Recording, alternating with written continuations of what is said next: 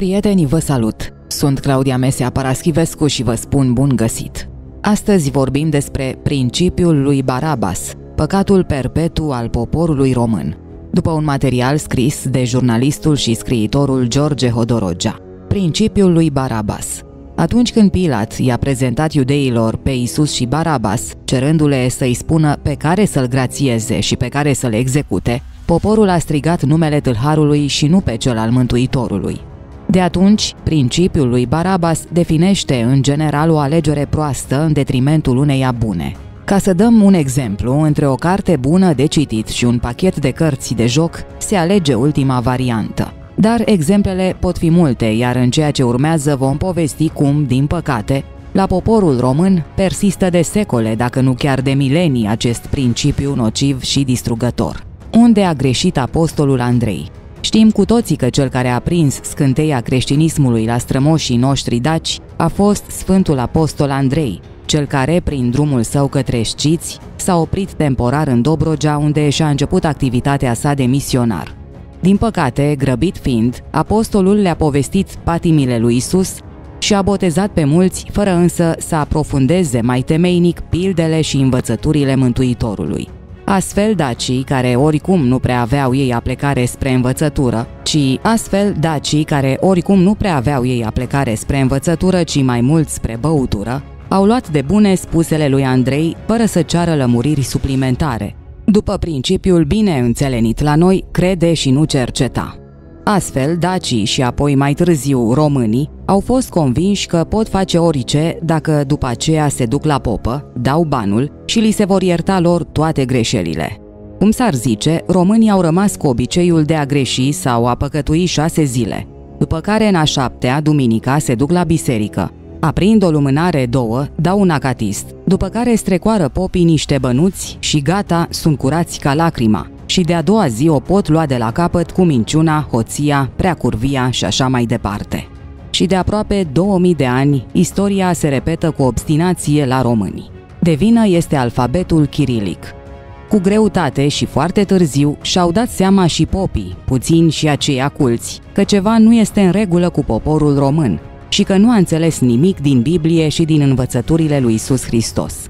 Și atunci le-a venit în cap să tipărească cărți care să lămurească ce și cum este creștinismul.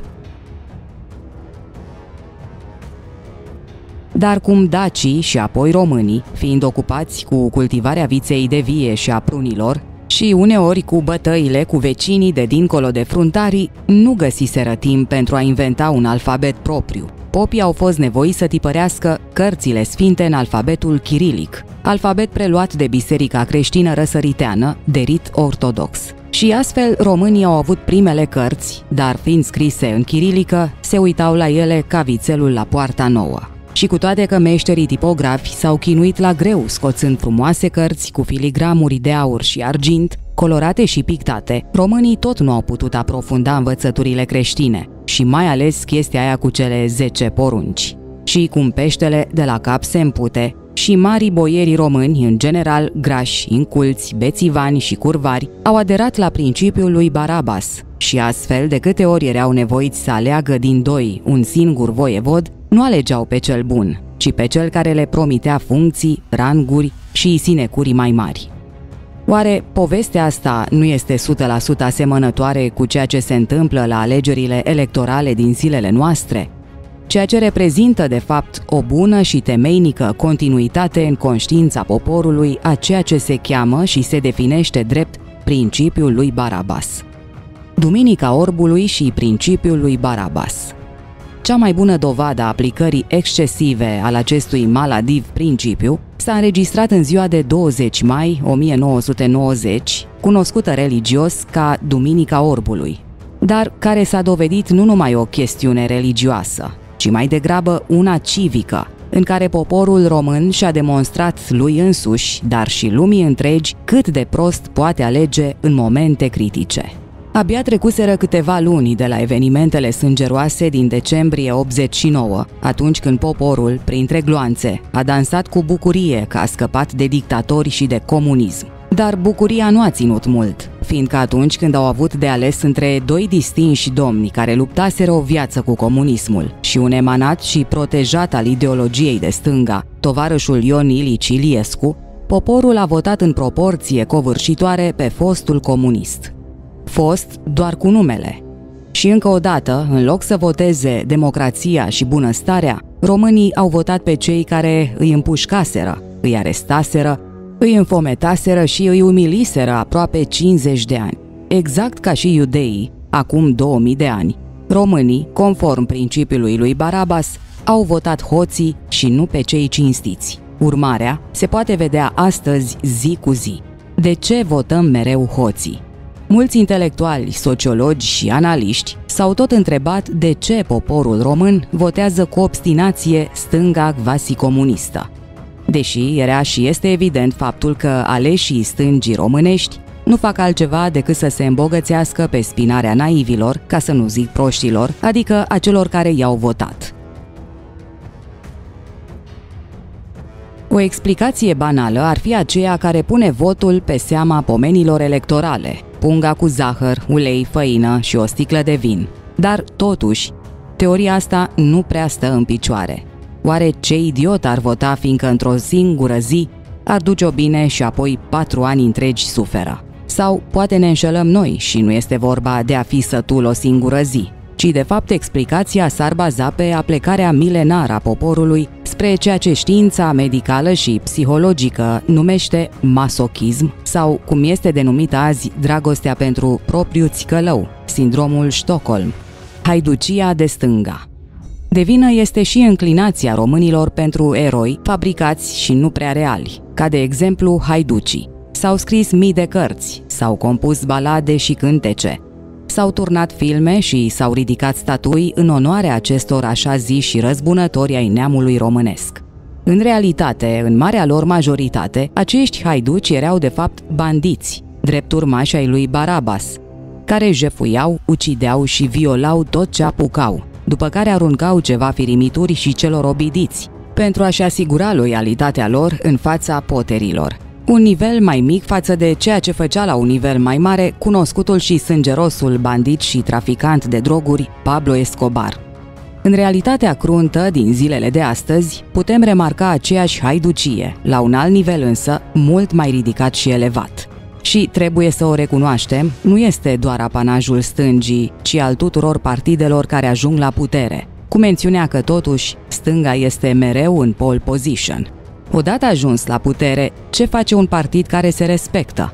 Jefuiește cât poate, împarte sinecuri și funcții familiilor și amicilor, dau ceva pomeni sociale și îndatorează la greu țara. După care se retrag în opoziție. Vin ceilalți la putere și reclamă greaua moștenire, și apoi fac la indigo ceea ce făcuseră anteriorii lor. La rândul lor, pentru a-și rotunji și ei conturile, prăduiesc ceea ce mai găsesc și apoi îndatorează și mai mult țara. Trec în opoziție, vin ceilalți și povestea cu greaua moștenire se repetă la infinit. Vine uneori o vreme când aproape totul se împute și să vezi atunci ce mai haiducie. Dușmanii într-o politică și hoție își dau culmea mâna, prostind poporul cu interesul general. Fac un guvern de alianță, teoretic, dar numai teoretic contra naturii, și haiducia, adică jaful, se dublează, iar viitorul neamului românesc este amanetat pentru zeci de ani viitori. Că așa este în România, se votează într-o veselie amară tot pe hoțul care te-a furat mereu, respectând în integralitate principiul lui Barabas. Principiul lui Lăpușneanu contra principiului Barabas – Multe se pot spune despre români, dar totuși nu putem neglija faptul că sunt foarte inventivi, adică pentru a justifica toate lucrurile bune sau rele, niciodată nu sunt autocritici și pentru asta au inventat proverbele. Astfel, niciodată nu este de vină românul, ci destinul. Pe lângă proverbe justificative, inventivii români au mai dat lumii întregi și principii filozofice, de exemplu, nu întotdeauna se poate aplica principiul biblic al lui Barabas. Uneori, având cuțitul la os, poporul se revoltă contra liderilor politici și cere autoritar anumite avantaje, în general financiare, de multe ori nesustenabile. Și ce fac politicienii? Sunt nevoiți să cedeze uneori și să satisfacă dorințele poporului, chiar dacă aceste revendicări pot arunca definitiv țara în haos economic. Pentru a justifica aceste cedări în fața poporului, cedări maladive, cum am mai spus, politicienii au recurs la istorie și au introdus un nou principiu, cel denumit al lui Lăpușneanu, proști, dar mulți, și se pare că funcționează, fiindcă politicienii rămân la putere, poporul este bucuros și sătul câteva zile, iar viitorul se arată sumbru undeva spre fundul unei prăpăstii ucigătoare. Dar ce contează? Este bine că avem măcar principii, fie că se numesc ele Lăpușneanu sau Barabas. Fiecare partid cu al său Barabas. Deși poate părea o critică adusă mai mult stângii românești, acest articol pamflet este îndreptat împotriva întregului spectru politic. Și este normal să fie așa, fiindcă în România fiecare partid are barabasul său, uneori chiar mai mulți. Barabas se poate înțelege și tâlhar. Nu putem neglija faptul că în fiecare partid există și oameni serioși, dornici să facă treabă bună pentru țară și popor. Nu tot poporul român este idiot, nu? Dar, din păcate, ca și în restul istoriei, și în partide se aplică principiul lui Barabas. Adică la congresele lor, membrii partidelor, în loc să voteze lideri onești, își aleg tot pe barabașilor. Și astfel, când se ajunge la putere, în loc de refacerea țării, asistăm din nou la cunoscutele haiducii. Și, ca să fie siguri pe puterea lor, proaspăt aleșii președinții de partide, primul lucru pe care îl fac constă în excluderea din formațiunea politică a rivalilor onești. Și astfel nu are cine să-i mai conteste din interior, că de contestatarii din exterior nici în fund nu-i doare. Și cu un Barabas la conducere, drumul spre haiducia în interes propriu este deschis fără nicio opreliște. Când vom scăpa de alegeri proaste? Este o întrebare care ne macină pe toți cei care încă mai credem în adevăr, dreptate și responsabilitate. Din păcate, suntem din ce în ce mai puțini și vocea noastră este astupată aproape complet de discursurile fantezistos forăitoare ale politicienilor, fie ei de stânga sau de dreapta. Fiindcă, deși sunt despărțiți de așa zise doctrine, în fapt sunt uniți în sfânta lor spoliere a țării și a poporului român și au grijă politicienii noștri să mențină prostia la nivel de politică de stat, știindu-se bine că un popor necultivat este un popor ușor de manipulat, condus și jefuit. Pentru a scăpa vreodată de alegerile proaste, adică să nu mai folosim niciodată principiul lui Barabas, este strict necesar să se treacă la o schimbare profundă a sistemului educațional, pentru ca măcar generațiile viitoare să poată fi mai inteligente și mai active în demolarea politicianismului nostru de tip balcanic. Și poate abia atunci să se voteze inteligent și țara să nu mai fie condusă de haiduci jefuitori. Poate.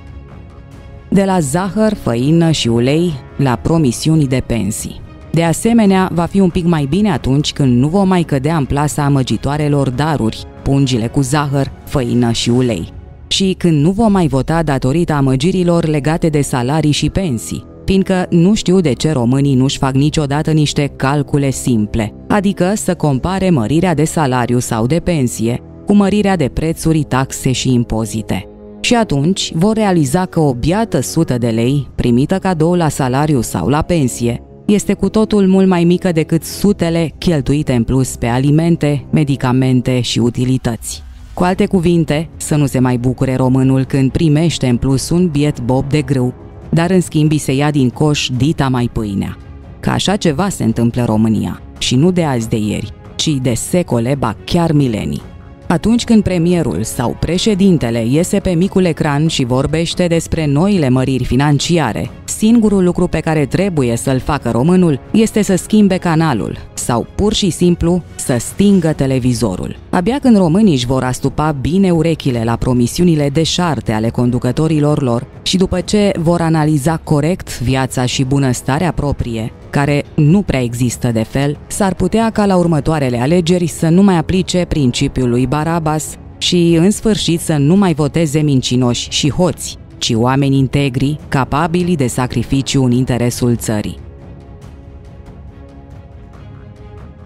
Dar, din păcate, și o spun cu regret, nu prea mai sunt șanse ca poporul român să voteze schimbarea în bine. Și de ce afirm așa ceva? Simplu. Judecați logic și dumneavoastră. Ce popor din lume în secolul 21, în plină secetă, în loc să implementeze tehnologii de irigare, scoate pe ogoare popii să se roage la divinitate pentru ploaie? Care popor nu mai folosește digitalizarea în serviciile și administrația de stat, preferând creionul, hârtia și abacul?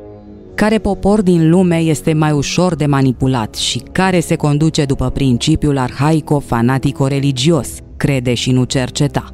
Care popor mai crede azi în rai și că acesta este rezervat doar celor săraci cu duhul? Care popor mai poate afirma despre un deputat, un ministru sau un primar, prins cu furtul grosolan că săracul a furat, dar a mai și făcut?